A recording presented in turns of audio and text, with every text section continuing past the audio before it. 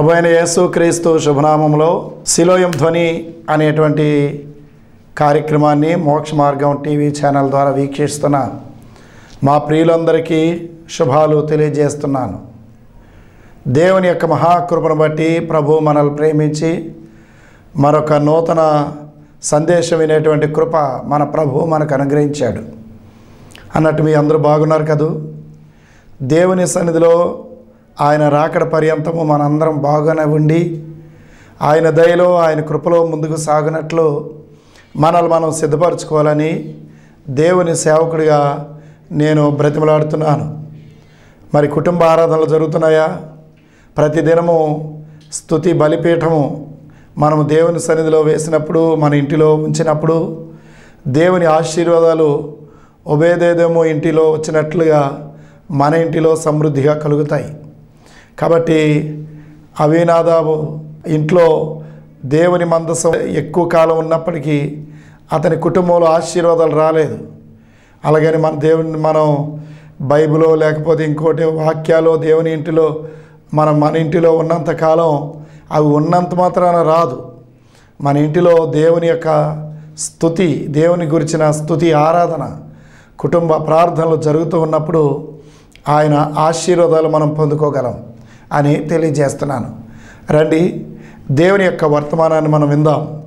ఈ దినం అంశమేమనగా ప్రభువు దినము.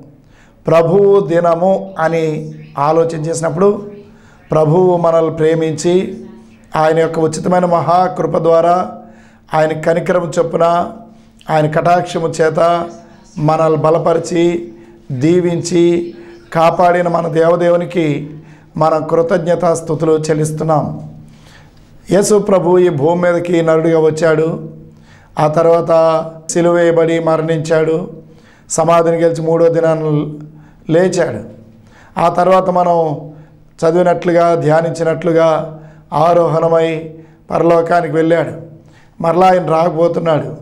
ఇది మనకు తెలిసినటువంటి ప్రాముఖ్యమైనటువంటి సత్యం. ఈ ప్రభు దినం గురించి ఎన్నో ప్రవచనాలు దేవుని యొక్క వాక్యంలోంచి మనం చదవగలం. ముందుగా దీనికి మూలవాక్యమైనటువంటి తెస్సలోనికాయలకు రాసిన మొదటి పత్రిక ఐదో అధ్యాయం రెండో వచనం చదివితే ఇలాగున వ్రాయబడి ఉంది రాత్రి వేళ దొంగ ఎలాగ వచ్చునో రాత్రి వేళ దొంగ ఎలాగ వచ్చునో అలాగే ప్రభుదినం వచ్చునని అలాగే ప్రభువు దినము వచ్చునని మీకు బాగుగా తెలుసును. మీకు బాగుగా తెలియను ఇక్కడ మనం జ్ఞాపకం చేసుకుంటే రాత్రి వేళ దొంగ ఎలాగ వచ్చునో అలాగే ప్రభు దినము వచ్చునని మీకు బాగుగా తెలియను. ఎవరికి తెలియను? విశ్వాసులకు తెలియను. ఎవరైతే క్రీస్తు రక్తమందు కడగబడి శుద్ధి చేయబడి పరిశుద్ధులుగా మార్చబడి ఆయన యొక్క శరీరమైన సంఘంలో సభ్యులుగా మారిపోయారో వారందరూ కూడా ఈ సంగతి ఎరుగుదురు. ఎందుకంటే మనం వెలుగు సంబంధులు కాబట్టి. సరే మనం జ్ఞాపకం చేసుకోవాల్సింది ఏంటన్నమాట ప్రభువు దినము అని అంటే అది చాలా ప్రాముఖ్యమైనటువంటి దినము. దీనిని గురించిన కొన్ని విషయాలు మనం జ్ఞాపకం చేసుకుంటే ఈరోజు సామాన్యంగా మనం అనుకుంటున్నట్టు ఇరవై నాలుగు గంటల సమయం కాదు. ప్రభువు దినం అంటే మరి దేవుని శత్రువులు కోలద్రోయబడేంత వరకు పొడిగించబడుతుందన్నమాట. ఆ కాలాన్నే ప్రభువు దినం అని అంటారు. యశయా గ్రంథం రెండో అధ్యాయము పన్నెండవ వచనం నుండి ఇరవై ఒకటి వరకు చదివినప్పుడు ఇలాగున వ్రాయబడి ఉన్నది? అహంకారాతిశయము గల ప్రతి దానికిని అహంకారాతిశయము గల ప్రతిదానికిని ఔన్నత్యము గల ప్రతి దానికిని ఔన్నత్యము గల ప్రతిదానికిని విమర్శించు దినం ఒకటి విమర్శించు దినమొకటి సైన్యములకు అధిపతి యెహోవా నియమించి ఉన్నాడు. అవి అవి అనగద్రొక్కబడును ఔన్నత్యము కలిగి ఔన్నత్యము కలిగి అతిశయించు. లేబానోను. దేవదారు వృక్షములన్నిటికి. భాషాను సింధూర వృక్షములన్నిటికి. ఉన్నత పర్వతములకన్నిటికీ. ఎత్తైన మెట్లకన్నిటికీ. ఉన్నతమైన ప్రతి గోపురమునకును. బురుజులు గల ప్రతి కోటకును తర్షిషు తర్షీషు ఓడలకన్నిటికి రమ్యమైన విచిత్ర వస్తువుల కన్నిటికి రమ్యమైన విచిత్ర వస్తువులకన్నిటికి ఆ దినము నియమింపబడి ఉన్నది. మనకేదో తుఫాను వస్తేనో ఉదుత్తు లేకపోతే భూకంపాలు వస్తేనే ఏవో పడిపోతేనే ఎంతో విచిత్రంగా చెప్పుకుంటున్నాం ప్రపంచం అంతా కానీ అన్నిటికీ ఒక రోజు నియమించబడింది అని యష్యా ద్వారా ప్రవచింపబడుతూ ఉంది. ప్రియులరా యష్యా గ్రంథం పదమూడు అధ్యాయం తొమ్మిది నుండి పదహారు వరకు. యెహోవా దినము వచ్చుచున్నది. దేశమును పాడు పాపులను బొత్తిగా దానిలో ఉండకుండా ఉగ్రతతోను క్రూరమైన ఉగ్రతతోను. ప్రచండమైన కోపముతోను అది వచ్చును. ఆకాశ నక్షత్రములను నక్షత్ర రాసులను తమ వెలుగు ప్రకాశింపనీయవు. ఉదయకాలమున సూర్యుని చీకటి కమ్మును. చంద్రుడు ప్రకాశింపడు. లోకుల యొక్క చెడుతనమును బట్టి దుష్టుల దోషమును బట్టి దుష్టుల దోషమును బట్టి నేను వారిని శిక్షింపబోవచ్చున్నాను అహంకారుల అతిశయం మానిపిస్తాను. బలత్కారుల గర్వమును అణిచివేసేస్తాను. బంగారు కంటే మనుషులను ఆ బంగారు కంటే మనుషుడును. ఓఫీరు దేశపు సౌందర్యం కంటే నరుడును. అరుదుగా ఉండజేసేదను. అరుదుగా ఉండ చేసేదను ఇక్కడ ఈ వాక్యాలన్నింటిని మనం చూసినప్పుడు దేవునికి అవిధేయులైన వారికి ఈ దినము భయంకరమైనటువంటి ఉగ్రత దినముగా మనకు కనబడుతోంది. ఇది యహోవా దినము అనగా ప్రభువు దినము. ముప్పై నాలుగు అధ్యాయం మొదటి నాలుగు వచనాలు చదివినప్పుడు యెషయా గ్రంథంలో కూడా ఇలాగున వ్రాయబడి ఉంది. రాష్ట్రములారా నా యొద్దకు వచ్చి వినుడి. జనములారా జనములారా చెవియొగ్గి ఆలకించుడి. చెవియొగ్గి ఆలకించండి. భూమియు దాని సంపూర్ణతయు. లోకమును దానిలో పుట్టినదంతయు. విననుగాక. యెహోవా కోపము. సమస్తమైన జనుల మీదకి వస్తోంది. వారి యొక్క సర్వ సైన్యముల మీద. ఆయన క్రోధము వచ్చుచున్నది. ఆయన వారిని శపించి వధకు అప్పగించెను. వారిలో చంపబడిన వారు బయట వేయబడదరు. వారి యొక్క శవములు కంపు కొడతాయి. వారి యొక్క రక్తం వల్ల కొండలు కరిగిపోతాయి. ఆకాశ సైన్యమంతయు క్షీణించిపోవును. కాగితపు చుట్టవలే. ఆకాశ వైశాల్యము చుట్టబడును.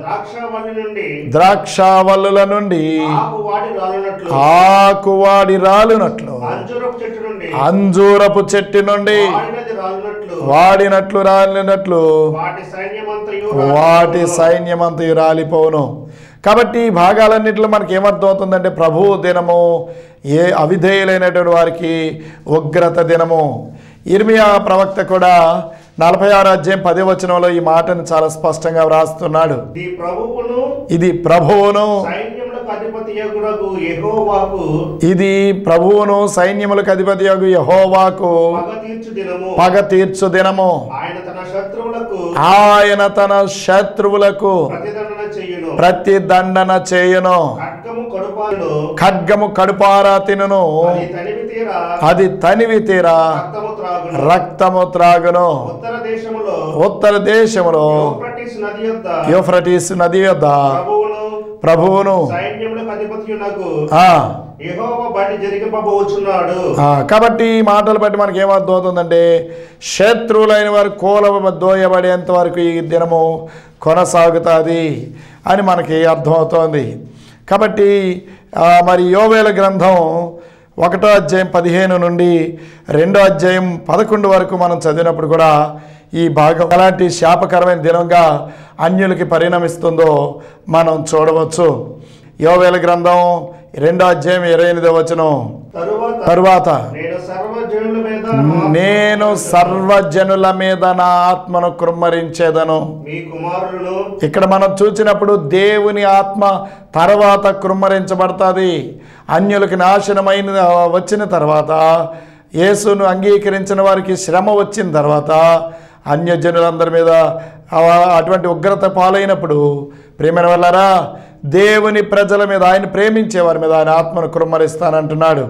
మూడో అధ్యాయం తొమ్మిదో వచనం చూసినప్పుడు ఎవరి గ్రంథంలో? అన్యజనులకు ఈ సమాచారం ప్రకటించండి. యుద్ధము ప్రతిష్ఠించుడి. యుద్ధ దినము ప్రతిష్ఠించుడి. బలాఢ్యులను లేపండి. యోధులందరూ సిద్ధపడి రావాలను. యోధులందరూ సిద్ధపడి రావాలెను. చూశారండి? పన్నెండవ వచనం నుండి పదిహేడు వరకు కూడా ఈ విషయాలు ఎన్నో కూడా మరి ఆ యోవేల ప్రవక్త రాసినట్లు మనం చూస్తాం. ఆమోసు గ్రంథంలో ఐదో అధ్యాయం పద్దెనిమిదవ వచనం నుంచి ఇరవై వరకు చూసినప్పుడు ఇలాగున వ్రాయబడి ఉన్నది. యెహోవా దినము రావలెనని. ఆశ పెట్టుకుని ఉన్నవారలారా. మీకు శ్రమ. యెహోవా దినము వచ్చుట వలన మీకు ప్రయోజనం ఏమిటి అది వెలుగు కాదు. అది అంధకారము. ఒకడు సింహమునొద్ద నుండి తప్పించుకునగా ఎలుగు బంటి ఎదురైనట్లు వాడి ఇంటిలోనికి పోయి గోడ మీద చెయ్యవేగా పాము వాని వాని కరచునట్లు ఆ దినము ఉంటది. యెహోవా దినము. నిజముగా వెలుగ ఉండదు కదా. వెలుగు ఏమాత్రమును లేక అది కారు చీకటిగా నుండదా? జకరయ్య పద్నాలుగు ఒకటి నుంచి మూడు వచనాల వరకు. ఇదిగో యహోవా దినము వచ్చుచున్నది. అందుకు ఎదట దోచబడిన సొమ్ము పట్టణంలోనే విభాగింపబడును. ఏలయనగా ఏరుషలేములే మీద యుద్ధము చేయుటకు నేను అన్యజనులందరినీ సమకూర్చబోతున్నాను. పట్టణము పట్టబడును. ఇండ్లు కొల్ల పెట్టబడును. ఇండ్లు కొల్లబెట్టబడును. స్త్రీలు చెరపబెడతారు. పట్టణంలో సగం మంది చెరపట్టబడి పోవుదురు. అయితే శేషించువారు నిర్మూలము- కాకుండా ఆ పట్టణములో నిలుస్తారు. అప్పుడు యెహోవా బయలుదేరి తాను యుద్ధ కాలమున యుద్ధము చేయ రీతిగా యుద్ధము చేయును. కాబట్టి దేవుడు అన్యజనులతో యుద్ధము చేస్తాడు అనేటువంటి సంగతి మనకు అర్థమవుతోంది. ప్రేమైన దేవుని బిడ్డలారా ఇంతవరకు జరిగేదంతా కూడా ఆయన కోపము ఆయన ఉగ్రత ఆయన యొక్క ఉన్నటువంటి ఆ యొక్క విరోధుల పైన వస్తుంది అనే సంగతి మనం జ్ఞాపకం చేసుకుంటున్నాం. దీని తర్వాత భూమిపైన క్రీస్తు పరిపాలన జరుగుతుంది. దీని తర్వాత భూమిపైన క్రీస్తు పరిపాలన జరుగుతోంది. అంటే మొట్టమొదట దేవుని ఉగ్రత వచ్చిన తర్వాత మరి ఆ ఏ- ఏ శ్రమలు వస్తాయి ఏ కష్టాలు వస్తాయి భూమి మీద ఎన్నో బాధలు వస్తాయి అంతా నెమ్మదిగా ఉందిలే అనుకుంటారు. ఇప్పుడు కాలం చూస్తుంటే అదే జరుగుతుంది కదా. అందుచేత అన్యజనులకు శ్రమ వస్తుంది. చూడండి తీర్థయాత్రలని ఏవేవో పేరుతో వెళుతున్నారు. అక్కడికి వెళ్ళగానే వరదలు ఆ వరదల్లో చిక్కుకొని పోయి ప్రాణాలు పోగొట్టుకున్న వాళ్ళు మరి ఒక తల్లికి పిల్లలేక పిల్లకి తల్లి లేక శ్రమ హింస ఎంతో కలుగుతోంది. కానీ దేవుని ప్రజలు ఎక్కడికి వెళ్ళి వస్తున్నా? క్షేమంగా సురక్షితంగా గృహాలకు చేరుతున్నారు. కారణం ఏమిటి తెలుసా? ఇది దేవుని కృపాకాలంలో విశ్వాసులు ఉంటే ఆయన ఉగ్రత కాలంలో అన్యులు ఉన్నారు. ఆటోమేటిక్గా మరణానికి చేరువుగా ఉన్నారనే సంగతి మనకు అర్థమవుతుంది. మనం ఆయన తర్వాత క్రీస్తు పరిపాలన ఎలా జరుగుతుందో జఫన్యా గ్రంథం మూడో అధ్యాయము పద్నాలుగు నుండి పదిహేడు వచనాలు చదివితే మనకి ఇంకా స్పష్టంగా అర్థమవుతుంది. సియోను నివాస సియోను నివాసులారా ఉత్సాహధ్వని చేయుడి. ఇస్రాయేలీయులరా జయధ్వని చేయుడి. యెరూషలేము నివాసులారా పూర్ణ హృదయముతో సంతోషించి గంతులు వేయుడి. తాను మీకు విధించిన శిక్షను. యెహోవా కొట్టివేసి ఉన్నాడు. మీ శత్రు మీ శత్రువులను ఆయన వెళ్ళగొట్టి ఉన్నాడు. ఇస్రాయేలీలకు రాజైన యహోవా. మీ మధ్యనున్నాడు. ఇక మీదట మీకు అపాయము రాదు. ఆ దినమున జనులు మీతో ఇలాగంటారు. ఎరుషలేము భయపడకము. సియోను ధైర్యం తెచ్చుకో. నీ దేవుడని యెహోవా. మీ మధ్యనున్నాడు. ఆయన శక్తిమంతుడు. ఆయన మిమ్మల్ని రక్షిస్తాడు. ఆయన బహు ఆనందంతో. మీ అందు సంతోషపడతాడు. ప్రేమను బట్టి నీ అందు తనకున్న ప్రేమను బట్టి శాంతము వహించి శాంతము వహించి నీ సంతోషము చేత మీ అందరి సంతోషము చేత ఆయన హర్షించుడు ఆయన హర్షించును. కాబట్టి మనం జ్ఞాపకం చేసుకోవాల్సింది ఏంటనమాట ఆయనను కలిగి ఉన్న ప్రజలకు ఈ రకమైన వాగ్దానాలన్నీ దేవుడు ఇస్తున్నట్లు మనం చూస్తున్నాం. ప్రకటన గ్రంథం ఇరవై అధ్యాయం నాలుగు నుంచి ఏడు వరకు చదివినప్పుడు ఈ విషయాలు మరింత స్పష్టంగా మనకు అర్థమవుతాయి. ఆ అంతటా సింహాసనములను చూచాను. వాటి మీద ఆశలు ఎండు వారికి ఆసీనుడై ఉన్నవాడికి విమర్శ చేయుటకు ఆ అధికారం ఇయ్యబడింది. మరియు క్రూర మృగమునకైనను దాని ప్రతిమనకైనను నమస్కారము చేయక.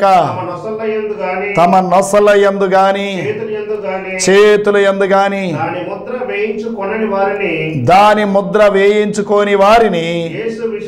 యేసు విషయమై తానిచ్చిన సాక్ష్యము నిమిత్తమును. దేవుని వాక్యము నిమిత్తమును. శిరఛేదనము చేయబడిన. శిరఛేదనము చేయబడిన. వారి ఆత్మలను చూచి తిని వారి బ్రతికిన వారు. వెయ్యి సంవత్సరములు.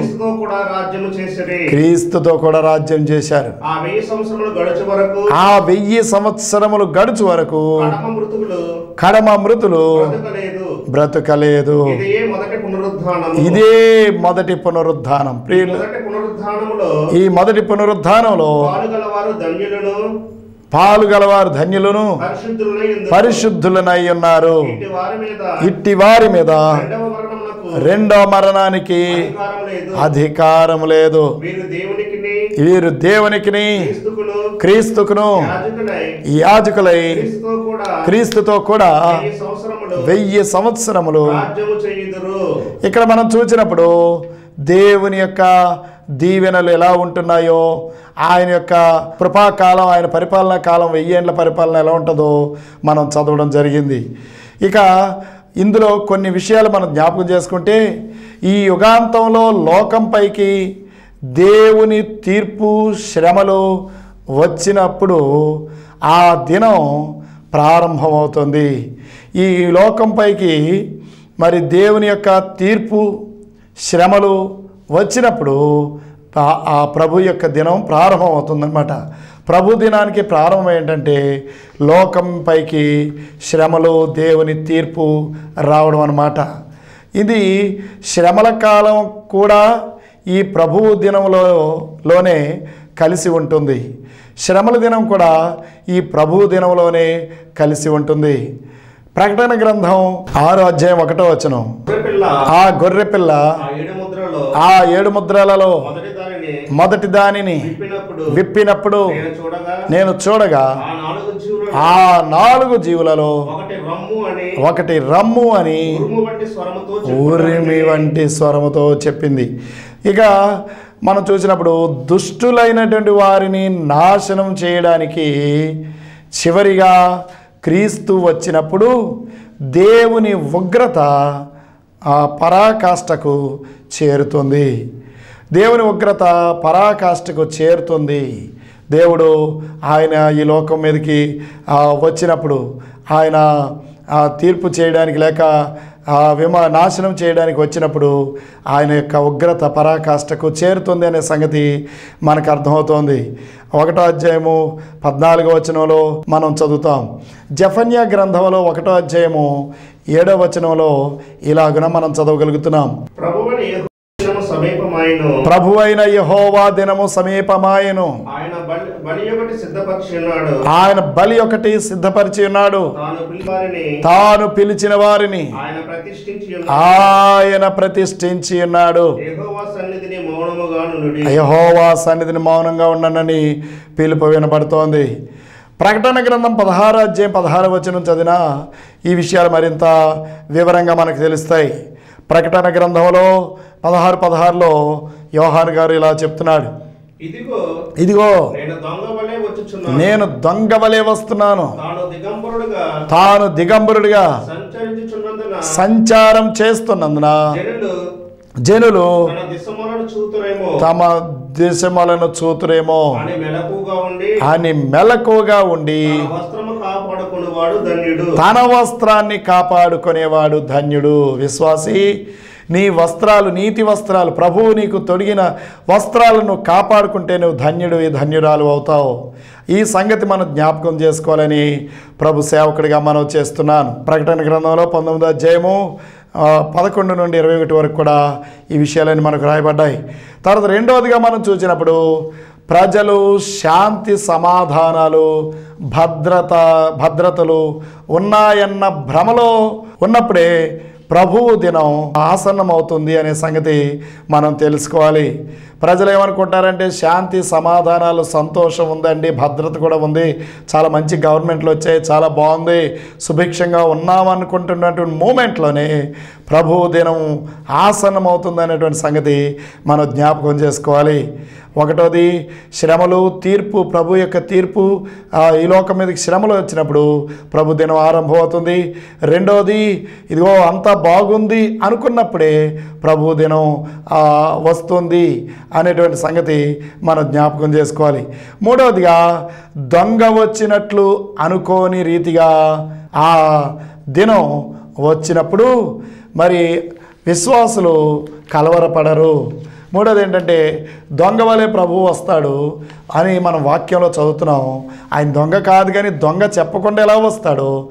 ఆయన అలాగే వస్తాడు కనుక ఆయన వచ్చేటప్పుడు విశ్వాసులు కలవరపడరు అని మనం చదువుతున్నాం. ఆ తర్వాత ఎందుకంటే వారు ఉగ్రతకు కాక రక్షణకు ఏర్పరచబడి ఉన్నారు. మనం జ్ఞాపకం చేసుకోవాల్సింది వారు ఉగ్రకత కాక రక్షణ కొరకు ఏర్పాటు చేసి చేయబడి ఉన్నారు. రెండో కారణం ఏంటంటే వారు జాగరూకులుగా జాగ్రత్త కలిగి వారు ఆత్మీయ మెలకువ గలవారై ఉన్నారు.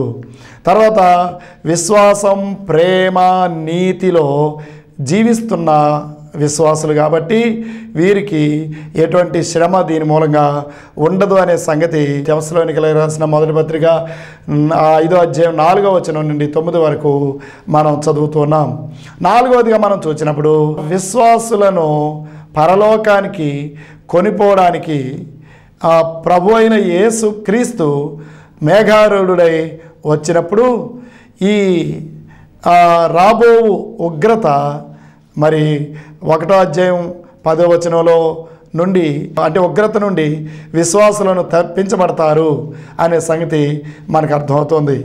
నాలుగో అధ్యాయం పదిహేడు వచనంలో కూడా ఈ విషయాలు మనం చదువుతున్నాం. యోహన్ స్వార్త పద్నాలుగో అధ్యాయం మూడో వచనంలో కూడా ఆయన ఉండే చోటికి మనల్ని తీసుకెళ్ళడానికి వస్తానని వ్రాయబడి ఉంది. యోహన్ స్వార్త మూడో అధ్యాయం పదో వచనం. ఏ సీట్లను యేసు ఇట్లనేను. వీటిని ఎరుగువా? మేము ఎరిగిన సంగతియే చెప్పుచున్నామని. చూచిన దాన్నే సాక్ష్యం ఇస్తున్నామని. నికోదేముతో యో యేసు ప్రభు చెప్తున్నాడు. ఐదోదిగా మనం చూసినప్పుడు వెయ్యేండ్ల పరిపాలన వెయ్యేండ్ల పరిపాలన ప్రకటన గ్రంథం మనం చూసినప్పుడు ఇరవై అధ్యాయంలో మనం చదువుతాం. నాలుగు నుండి పది వచనాల్లో ఈ వెయ్యేండ్ల పరిపాలన గురించి వ్రాయబడి ఉంది. ప్రియులరా తరువాత అంటే ఈ వెయ్యేండ్ల పరిపాలన తర్వాత మరి దేవుని యొక్క నూతన ఆకాశం నూతన భూమి సృష్టింపబడిన తరువాత ప్రభువు దినం పూర్తవుతుంది. ఈ లోకం మీదకి దేవుని తీర్పు ప్రజలకు వచ్చే శ్రమలతో ప్రారంభమైన ఈ దినం మరి నూతన ఆకాశం నూతన భూమి సృష్టించబడిన తర్వాత ప్రభు యొక్క దినం ప్రభు పూర్తవుతుందనే సంగతి మనం తెలుసుకోవాలి. పేతురు రాసిన రెండో పత్రిక మూడో అధ్యాయం పదమూడో వచనంలో ఈ విషయం ఇంకా వివరంగా మనం చదవగలం. అయినను మనము ఆయన వాగ్దానమును బట్టి కొత్త ఆకాశములు క్రొ- కొరకును, క్రొత్త ఆకాశం కొరకును కొత్త భూమి కొరకును క్రొత్త భూమి కొరకును కనిపెట్టుచున్నాము. వాటి యందు నీతి నివసిస్తుంది. అలాగే మనం చూసినప్పుడు ప్రకటన గ్రంథం ఇరవై ఒకటో అధ్యాయము ఒకటో వచనంలో ఇదిగో నేను క్రొత్త ఆకాశమును క్రొత్త భూమిని చూచాను అంటున్నాడు. కాబట్టి ప్రేమైన వల్లరా ఆ క్రొత్త ఆకాశం క్రొత్త భూమి సృజించబడడంతో ప్రభు దినం ముగుస్తుంది అనేటువంటి సంగతి నేను మీకు జ్ఞాపకం చేస్తున్నాను. నీవు దేవుని యొక్క రాజ్య వారసురాలు వారసుడు అయితే రక్షణ పొందుంటే మారు మనసు పొందుంటే ఇదిగో ఈ ప్రభు దినం యొక్క మరి ఆ శుభ సూచనలు నీకు కలుగుతాయి. మరి దుశ్చి మరి దుర్వార్తలను వినవలసిన అవసరం ఉండదు. ఉగ్రత నీకు కాదు అనే సంగతి నేను నీకు జ్ఞాపం చేస్తున్నాను. మరి నువ్వు ప్రభు బిడ్డవా? లేక లోక సంబంధివా? నిన్ను నువ్వు ఒకసారి పరీక్ష చేసుకో ప్రియ చెల్లి తమ్ముడు. దేవుడు నిన్ను ప్రేమిస్తున్నాడు. ఈ నేడే రక్షణ దినము. ఇదే అనుకూల సమయము. రేపు అనేది నీది కాదు. ఆయన ఉగ్రత నుండి తప్పించుకో. దేవుడు నిన్ను దీవించునుగాక. ఆమెన్. ప్రభా మా దేవానికి వందనాలు. నీ వాక్యం విన్న ప్రజలందరినీ మీరు దర్శించండి. వారికి రావాల్సిన ఆశీర్వాదాలన్నీ సమృద్ధిగా ఇమ్మని ప్రభు యేసు క్రీస్తు నామంలో వేడుచున్నాను తండ్రి. ఆమెన్.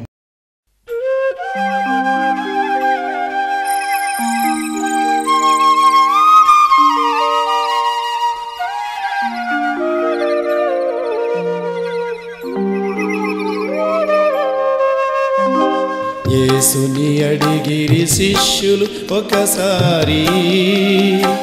బోధకుడా విడు బ్రూటి వాడై పుట్టుటకు ఎవరు పాపము చేసెను.